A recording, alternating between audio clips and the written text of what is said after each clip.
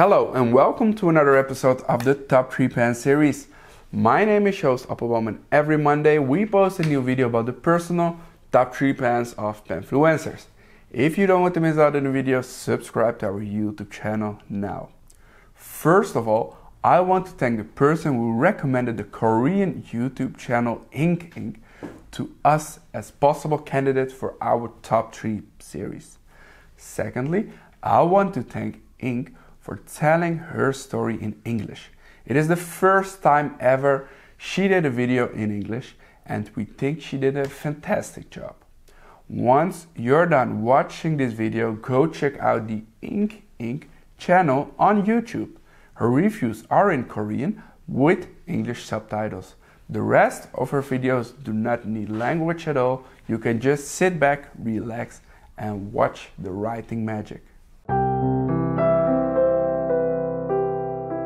I am Ink and running a YouTube channel in Seoul, Korea. I make from fountain pen and ink reviews to some kind of ASMRs and always trying to constantly challenge. So actually, this is my first time making a clip in English and god, this is super awkward.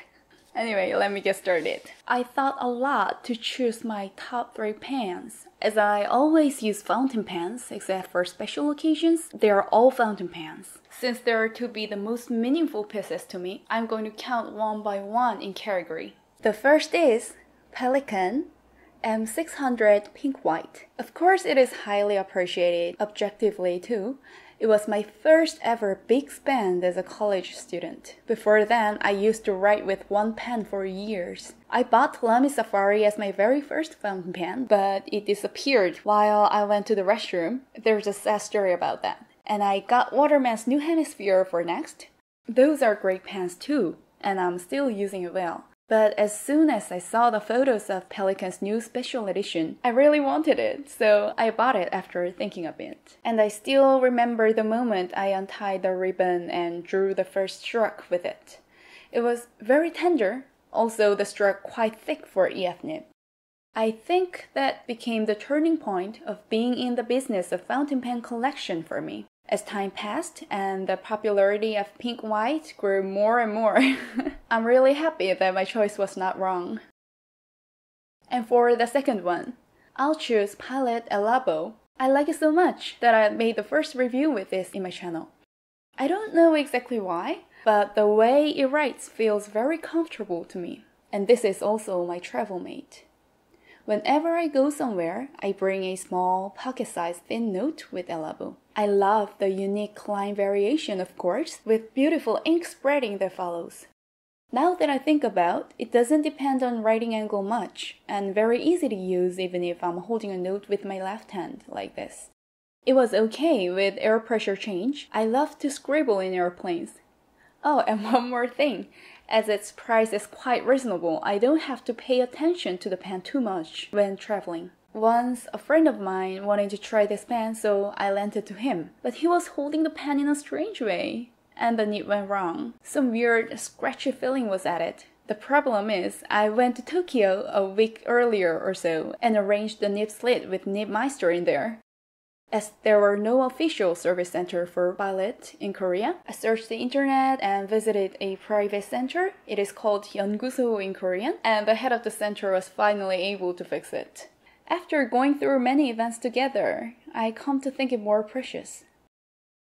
The last but not least, I consider so much for the last one. Here is Aurora 88. It is a bit different from current 88 because the nib is older version, the tines are longer.